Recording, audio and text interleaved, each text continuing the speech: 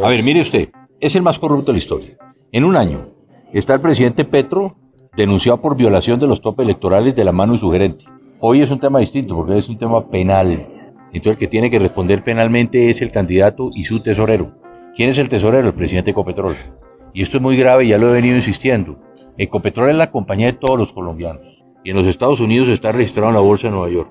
Cuando llaman ya a citar al gerente, la Procuraduría y posiblemente la Fiscalía, se puede caer la acción de Ecopetrol en la Bolsa de los Estados Unidos. ¿Y quién le va a pagar a los colombianos esa caída en el precio de nuestra acción? ¿Por qué no ha renunciado el presidente Ecopetrol? No entendemos.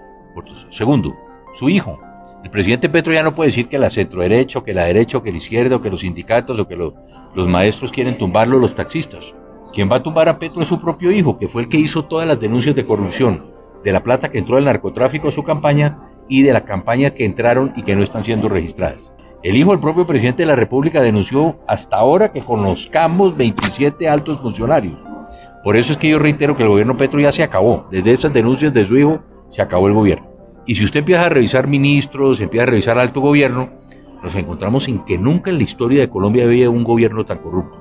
Afortunadamente tenemos fiscal y un fiscal que se está eh, verdaderamente cumpliendo con su deber y que esperamos que llegue al fondo. Pasó porque no pasó nada en el 8000. Eso es lo triste. Si hubiera pasado en el 8000 lo que pasó, que era que se quedó comprobado, todo lo que yo dije en el 8000 se comprobó, que a Samper lo había comprado el narcotráfico, que la presidencia de Colombia se lo había comprado el narcotráfico, que entraron los recursos de la campaña. Mire todo lo que está pasando.